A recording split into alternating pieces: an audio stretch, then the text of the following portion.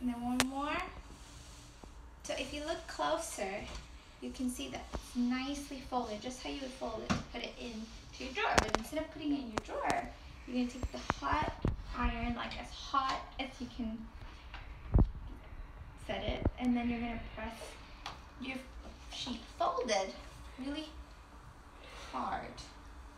It's not gonna be perfect, but it's gonna be just enough to make it feel nice. Then you open it, so you're working backwards.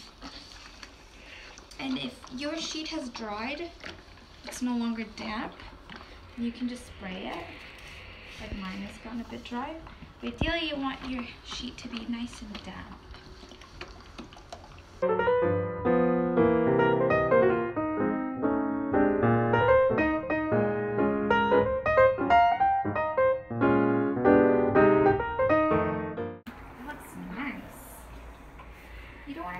Too hard on the edges because then that will leave you with creases. So take it easy with the edges. Just like a light brush. Can you see the sheet? Can you see the sheet?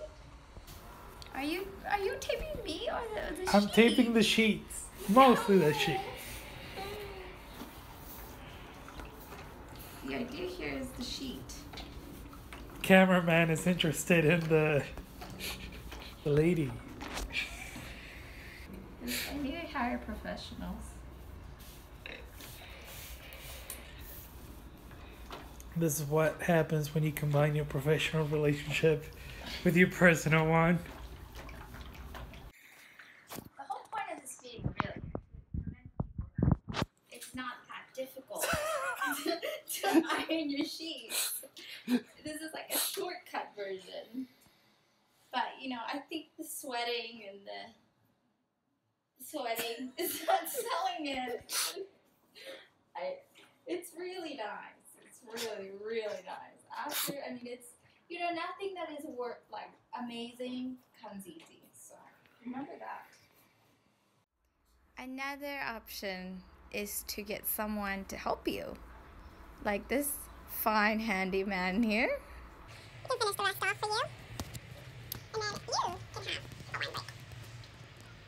You're doing a great job. Look at that linen. Is that satisfying? It's, it's what it is.